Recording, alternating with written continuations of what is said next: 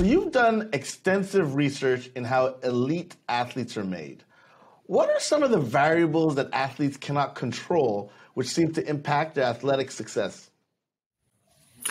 Well, there's quite a lot of serendipity or luck involved in becoming an elite athlete. I mean, firstly, of course, the role of parents is very important. We don't choose our parents, and clearly their interest in sport, in getting you uh, engaged in the sport, potentially taking you to practice, and in facilitating that early engagement in the sport is quite paramount. Uh, there is a fair amount of empirical evidence actually that highlights that um, your chances of becoming an elite athlete are much greater if you're a, a younger sibling. So having older siblings, again, uh, encourage you to enter into the sport, uh, provide an active role model, someone that you can play with, practice with, and learn from. Uh, other sort of aspects of serendipity around becoming an elite athlete might focus on, for instance, the place of birth. I mean, clearly, for example, if you're born somewhere in the Rocky Mountains, your chances of being an elite skier are much higher than if you're born in the Midwest. In fact, 75% of Olympic skiers are born within an hour of the slopes. Talk about how elite athletes are different from us mere mortals. You know, so you report that elite athletes are better and faster at processing visual stimuli. Can you explain that? Yeah, I mean, it's, it's you will often hear the uh, the commentator on the football game uh, go, "The player's got a great eye, or superb vision," and it obviously implies that uh, you know the athlete has superhuman vision, a little bit like Superman, for instance.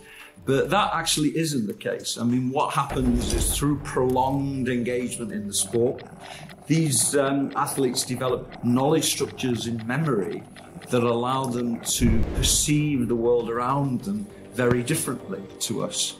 Uh, so they become better at anticipating.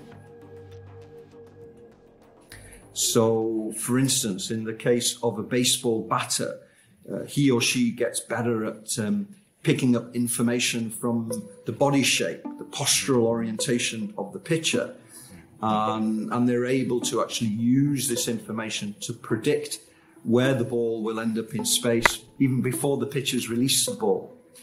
Uh, on top of that, the batter is able to pick up information from you know the pitch orientations, the loading on the bases, the score in the game, a previous knowledge of that pitcher the pitcher's tendencies, what type of deliveries does he or she like to, to, to throw at different stages in the game.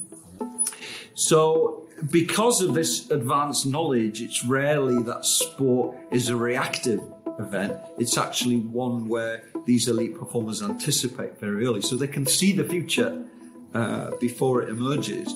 And this, of course, makes it look as if they've got all the time in the world you know, it gives them time to move into position to make the right decision or to execute the shot in the most effective manner.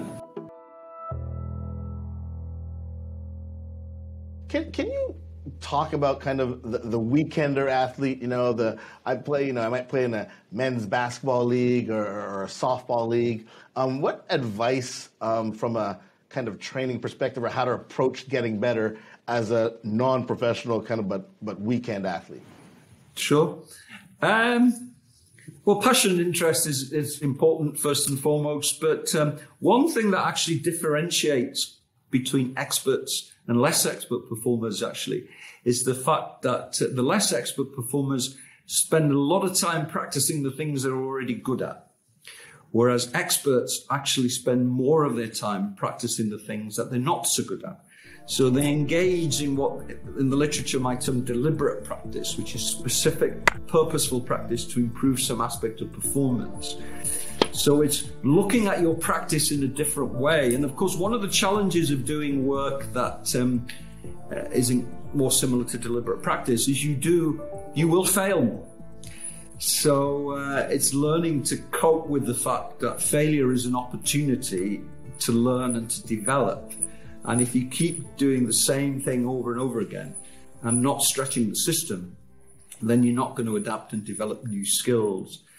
I really love that you said that because as you were talking about it and thinking back just my little myopic life, you know, when I played sports, I loved doing the stuff that I was good at because it was positively reinforced me. If I was doing a layup or taking a slap shot or a wrist shot, I would pick the tool of choice because I knew I was better at it and I would have more success.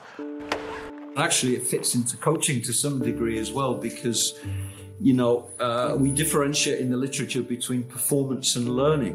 When, if you're a coach taking a practice session, then what you see in that practice session is actually their performance and not their learning. Give them lots of instruction, do a repetitive block practice of a single skill and provide lots of feedback, that performance is good in the session.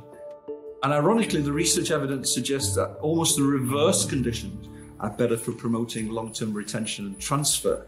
So that maybe as a coach, I should think, well, what is the least amount of instruction that I need to give the athlete so that he or she can begin to practice the skill? To what extent are my practice conditions dynamic, variable, and challenging so that they reflect the demands of competition? Not just technically and tactically, but also physically, physiologically, psychologically. And what is the least amount of feedback that I need to give the athlete? Uh, and there's a lot of evidence to suggest that we may, as a society, be guilty of overcoaching and being too prescriptive and not allowing kids the opportunity to engage in discovery learning.